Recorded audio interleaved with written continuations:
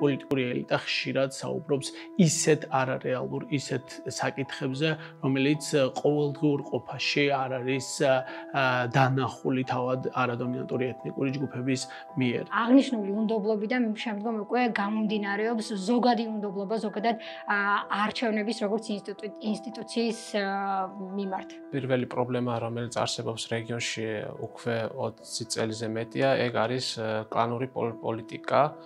სახელმწიფო პარტიიდან წარმომადგენელი კანდიდატები 20 წელს განმავლობაში ერთ და იგივე ადამიანები არიან და ფლობენ ბიზნესებს. ინოცმინდაში ნებისმიერი სოფელ სოფელი რომ ავიღვანოთ ადამიანების უმრავლესობა არჩევნები თვლის რომ არის არა დემოკრატიული რაღაცა ღირებულება, არამედ ფინანსური სარგებლის მიღება არჩევნების დროს. ამიტომ თითოეული სოფლიდან მოსახლეობის უმრავლესობა, ასე ვთქვათ, დასაქმებულია პარტიებში აგიტატორად ან კოორდინატორად და ასე შემდეგ და რა თქმა უნდა პარტია თხოვს თუ ხარ დასაქმებული აგიტატორად, ესე იგი შენი მთელი ოჯახის წევრები უნდა ხმაასწენ იმ პოლიტიკურ პარტიას, რომელიც რომელშიც შენ მუშაობ.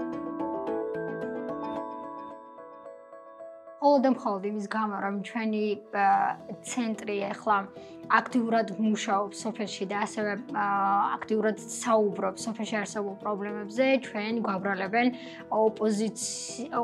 ოპოზიციისთვის ხარდაჭერას და ცდილობენ გარკვეული, ასე ვთქვათ, კედლების აშენებას ჩვენთვის. ეს იქნება რაღაცნაირად დამუქრება, ეს იქნება თვითონ ცენტრის წევრების დაშინებას, რომ იქ რაღაც სხვა ამბები ხდება და თქვენ გიყენებენ. რაც ძალიან გულდასაწყვეტია მომენტი ამბავია.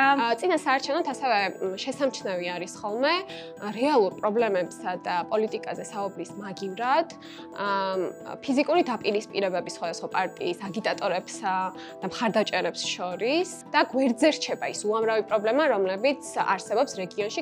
ადგილობრივი მოსახლეობა წინა საარჩევნო რეალობას უყურებს არა როგორც მათ ძალაუფლებას, ზეგავლენა მოახდინონ საკუთარ ცხოვრებაზე, ქვეყნის ცხოვრებაზე და შემდეგი წლების პოლიტიკაზე არამედ უყურებენ როგორც ერთ დღეს, როცა მათი ყოველდღიური ყოფა მთლიანად იშლება, ყველაფერი და ყველა აქცენტი გადასულია საარჩევნო ყუთებთან და ისინი მოქალაქეები არიან, ესე ვთქვათ, ის გამტარები სახელმწიფოსი ან პოლიტიკური ელიტის ან ხელისუფლებაში არსებული პოლიტიკური ჯგუფის, რომლებიც ვალდებულნი არიან არიან მივიდნენ და მხარი დაუჭირონ სახელმწიფო გუნდს, ხო?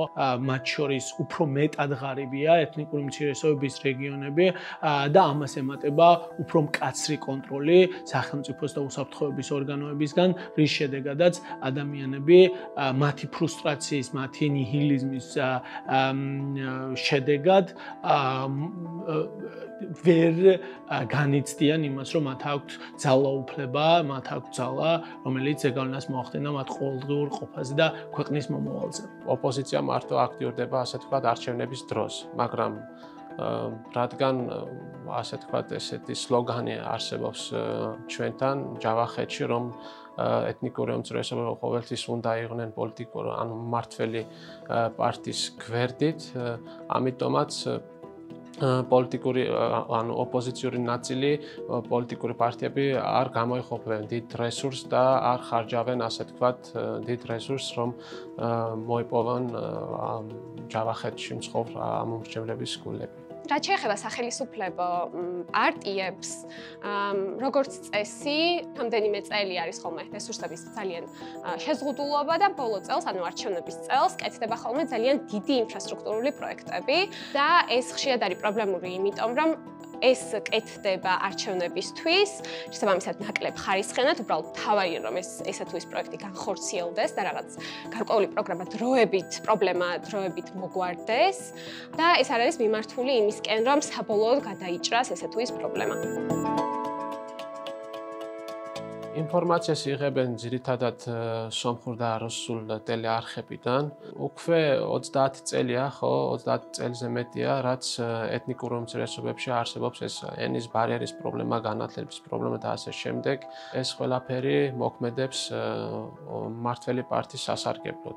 იმიტომ რომ თუ ადამიანი არ არის განათლებული, არ ფლობს ენა, არ არის ინფორმირებული, ადამიან ადამიანზე ზეწოლა, ხო, და დაშინება უფრო მარტივია, ვიდრე იმ ადამიანზე, ვინც ასე თქვა ინფორმირებულია. და ამას იყენებენ, აი, დეზინფორმაციის გავრცელების მიზნით და ამას იყენებენ მოქალაქეების, მოტყუების, დაშინების, ასე ვთქვათ, მიზნით. მაგალითად ძალიან დიდ პრობლემას წარმოადგენს რეგიონში უმუშევრობა. რეგიონიდან გადიან ახალგაზრდები, ბევრი მუშაობს, ასე ვთქვათ, რუსეთში ან სომხეთში. რიტუალური საარჩევნო წელი ოქტომბრის თვეში ტარდება და ზუსტად ოქტომბრის თვეში ჯავახეთში არის იმხობებიან მოსახლეობის დიდი ნაწილი, იმიტომ რომ არიან სეზონური მიგრაციაზე და მუშაობენ რუსეთში. განსხვავებული წელი იყო 2020 წელი, რადგან ხო, ესე ვთქვათ, პანდემიის გამო საზღვრები დაკეთ ჩაკეტილი იყო, მოსახლეობა სულ იყო ანუ რეგიონში და ყოველ კვირიულად, ყოველ კვირის ბოლოს რაღაცა აქციები იმართებოდა, ეს იყო მიწის პრობლემასთან დაკავშირებით, წყლის პრობლემასთან დაკავშირებით და სხვა ბევრი პრობლემასთან დაკავშირებით. აქციები ნინოსმინდის მერის წინ ერთადერთი ხერხი, ანუ მონაწილეობის ხერხი, რომელიც გამოიყენებენ, ეს არის პირდაპირ მისლა მერიასთან, ამ მერთან, ან საკრებულოს თავმჯდომარესთან და თავიანთი პრობლემის, ასე ვთქვათ, ამ გზით მოგვარებას ცდილობენ და საერთოდ არ არიან ინფორმირებული მაგალითად პეტიციაზე, სახალხო, ანუ ნო კრებაზე ხო, სოფლის კრებაზე და ასე შემდეგ. ეს რა თქმა უნდა, ან ასე თქვა, ჩართულობის ძალიან დიდ პრობლემას პრობლემასთან არის დაკავშირებული. იმის მაგივრად რომ შეუწყონ ადგილობრივი კულტურის, ენის და პოლიტიკური ცხოვრების განვითარებას ხელი, ამის მაგივრად ისინი ხშირად აფერხებენ ამას. ყოველთვის როცა რომელიმე ადამიანი, რომელიმე ახალგაზრდა, რომელიმე აქტივისტი კრიტიკულად საუბრობს სახელმწიფოში არსებულ პრობლემებზე, ოპოზიცია ცდილობს რომ ამას მისცეს ისეთი შეფერილობა თუ რაც სუდია არის არსებული ხელისუფლება და არ თქვას რომ მთელი სისტემა პრობლემაა და მთელი სისტემაა შესაძლებელი, ხოლო ხელისუფლება ფიქრობს რომ ეს ადამიანი არის ოპოზიციურად განწყობილი და მას უბრალოდ უნდა რომ ხელისუფლება შეიცვალოს და გარკვეული ბენეფიტები მიიღოს თუ თანამდებობა მიიღოს ამ ადამიანმა. ამ ყოლაფრის დაუნახაობა პოლიტიკურ ელიტაში ქმნის ფრუსტრაციას ადამიანებში, რის შედეგადაც ზოგადად ქვეყნისადმი დამოკიდებულება, ქვეყნისადმი სიყვარული იკარგება მოქალაქეებში და ქვეყნისადმი კუთვნილების განცდა იკარგება ეთნიკური უმცირესობების წარმოადგენლებში და შემდეგ მთელი პოლიტიკური ელიტა, მთელი ესტაბლიშმენტი, მათ შორის შეიძლება რაღაც მომენტებში არასამთავრობო სექტორიც კი ვიწყებთ იმის დაბრალებას ეთნიკური უმცირესობებისთვის, რომ მათ არ უნდათ ინტეგრაცია, მათ არ უნდათ სახელმწიფო ენის სწავლა. მათ ეს უნდათ უბრალოდ პრობლემა არის ის, რომ ისინი როცა ამ საჭიროებებზე საუბრობენ, ყოველთვის ამას პოლიტიკური ელფერი წაკრავს და უნდათ რომ ვიღაცას ვიღაცა მიიღოს ამისგან ბენეფიტი. და არ ამოხსნას ეს ეს პრობლემური რეალობა.